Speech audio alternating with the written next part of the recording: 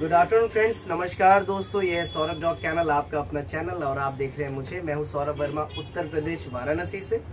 आज हमारे पास सेन बनाट के पपीज़ आए हुए तो हमारे पास एक सैंपल पपी है, आप ये देख सकते हैं। शी इज़ अ फीमेल बहुत बढ़िया, ज़बरदस्त सेंट बनाट है। जब भी सेंट बनाट ले तो आप कैसे पहचानेंगे कि ये ओरिजिनल सेंट बनाट ही है? तो सबसे पहले सेंट बनाट दो तरीके के होते हैं। एक होता है सिंगल कोट या मीडियम कोट एक होता है लॉन्ग कोट या डबल कोट कोट से आश्रय है बड़े बालों का। तो आप ये देख रहे हैं, ये पूरा एकदम फरी है डबल कोट में बच्चा है। इसके बाल बहुत बड़े बड़े अगर हम ऐसे करके दिखाए, है ना? और सेनमार्ट की दुम हमेशा मोटी होती है। लगभग मेरी तीन उंगली के बराबर इसकी एक दुम है।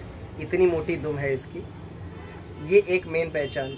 और इसमें एक ऑन मार्किंग होता है, एक ऑफ़ मार्किंग होता है। ऑफ़ मार्किंग क्या होता है? आँखों पे चश्मे नहीं होते हैं। तो वो बच्चे कुछ सस्ते मिलते हैं। आउट मार्किंग वाले। इसका देखिए, एकदम मार्किंग पूरा प्रॉपर है। स्मार्टी बॉय इसके इधर भी चश्मा है, इधर भी चश्मा है और दोनों के बीच में जो लाइनिंग है, ये बड़ी बराबर है एक्यूरेट है और बिल्कुल सही है।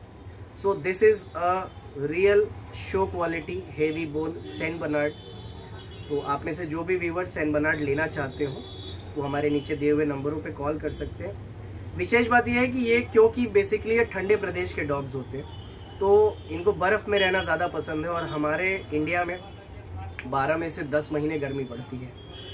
तो जब भी मार्च, अप्रैल, मई, जून, ये चार महीने जब भी आप लोग डॉग्स लें सेन बनाट के विषय में बता रहा हूँ, विशेष तौर पे। तो आ, कोशिश करें कि एसी में रखें।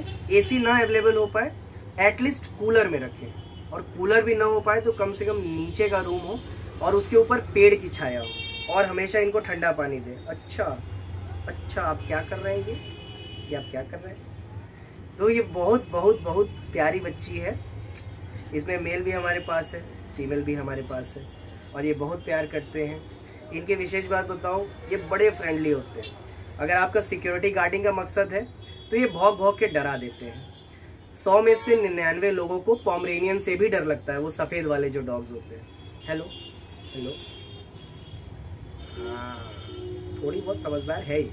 ये इंटेलिजेंट भी काफ़ी होते हैं। अब जब सौ, सवा सौ किलो का एक कुत्ता या कुतिया जब खड़ा होता है ना आपके सामने, और वो भी इस जैसा, जो सफ़ेद भालू जैसा या पांडा जैसा लगे। मजाल है, कोई चोर आपके घर में घुस जाएगा। तो नई ज़रूरत है कि आप रॉटविलर रखें डॉबरमैन रखें, अपने आप को कटवा लें। आज का ज़माना दिखावे का है। तो दिखा के ही अगर चोरों को डराया जा सकता है, भगाया जा सकता है तो इससे अच्छी बात और कुछ भी नहीं है। दूसरी बात कि इसका मन नहीं कर रहा मेरे गोद में रहने का। इसका मन कर रहा है घूमने का, दौड़ने का, भागने का। ये है बड़ी नोटी, इसको खाली इधर उधर उधर बदमाशियाँ करना बड़ा पसंद है। तो सेनबर्नाट बेसिकली होते बड़े एक्टिव हैं, लेकिन जब उन्हें ठंडा मौसम मिलता है, ठंडा माहौल मिलता है, ये कूल रहते हैं, तब ये खुश रहते हैं। अब मई, जून में आप बाँध दिए, वहीं लू चल रहा है, गर्म है, गर्मी है, ये बेचारे डिस्टर्ब हो जाते हैं, सुस्त रहेंगे, लुंज रहेंगे, पुंज रहेंगे। फिर आप कहेंगे, भैया डॉग एक्टिव क्यों नहीं है? डॉग एक्टिव क्यों नहीं है? क्योंकि वो खुश नहीं है। ज़ाहिर सी बात है अभी तो ये ज़्यादा खुश है मतलब बहुत खुश है। क्या खुशी है भाई आपको? क्या खुशी है? तो जब भी सेन बनाट ले माइंड सेट कर ले कि भाई गर्मियों में एसी आप दे पाएँगे, पहली चीज़। नहीं देंगे तो इनके बाल झड़ेंगे। एसी नहीं तो एक बड़ा कूलर आपको गर्मी लगती है, मैं बनारस में हूँ, यहाँ तो 48 48 50 50 डिग्री टेम्परेचर हो जाता है। और गर्मियों के दिन में तो रिक्शे वाले बेचारे चलते चलते गिरते हैं और गिर के ऑन द स्पॉट डेथ हो जाती है। इतनी विकराल गर्मी पड़ती है। अगर आप ठंडा नहीं दे सकते तो मत लीजिएगा सेन बना बहुत मेंटेनेंस मांगते हैं ये। बाल बड़े होते हैं, बालों की कॉमिंग करनी होती है। इतना साफ़ रखने के बाद भी आप देखिए, नीचे के पैर इसके थोड़े से गंदे हो गए। सैरलैक लगा लिया इस बच्चे ने अपने हाथ पैर में, क्योंकि तो सैरलैक खा रहा है अभी बच्चा को तो ग्रूमिंग बड़ा ज़रूरी है मेंटेनेंस माँगता है ये डॉग रफ एंड टफ बिल्कुल भी नहीं है। आप सोचे बस खाना फेंकें दो रोटी और टनाटन हो जाएगा, बिल्कुल नहीं। ये मेंटेनेंस मांगेगा ग्रूमिंग चाहिए। हफ़्ते हफ़्ते इसको आप कॉमिंग करेंगे। डेली करें तो बहुत अच्छी बात है। और सबसे बड़ी चीज़ सफ़ाई से रखें। बारिश में एक बार आप इसको टहलाने के लिए निकाल देते हैं अगर। खुश? हैप्पी अब बारिश में जब गली में से या कॉलोनी में से या रोड पे से जब ये आएगा तो पूरा हाथ पैर इसका सफ़ेद से काला हो जाएगा। तो कुछ चीज़ों का ध्यान में रख कर ही ब्रीड का चुनाव करना चाहिए। अगर आप गाँव में, देहात में रखना चाहते हो सोच रहे हैं, हो जाएगा।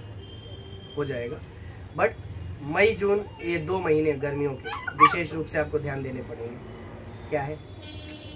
ध्यान देने पड़ेंगे ना।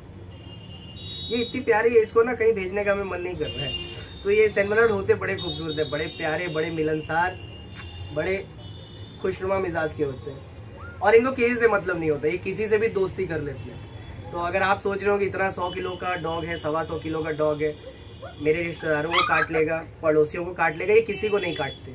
ये होते बड़े मिलनसार है लाखों में कोई एक बदसलूकी करने वाला डॉग होता है, जो काट लेता है तो उसकी एक अलग बात है। बाई नेचर इनका टेम्परेमेंट बहुत कूल होता है, शांत होते हैं। और एक ऑन एन एवरेज एक महीने के सेन बनाट को कम से कम पाँच किलो छः किलो, सात किलो का होना चाहिए।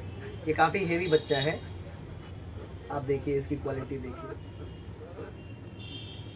तो ये डबल कोट का अच्छा शो क्वालिटी का रियल मास्क जिसके दोनों आइडियल चश्मे बराबर हैं। मार्किंग बड़ी अच्छी है। सेन बनाट है। हमारे पास सात मेल है, एक फीमेल है और।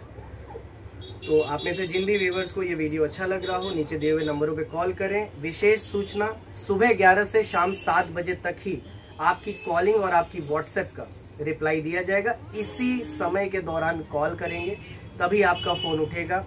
11 AM to 7 PM thank you.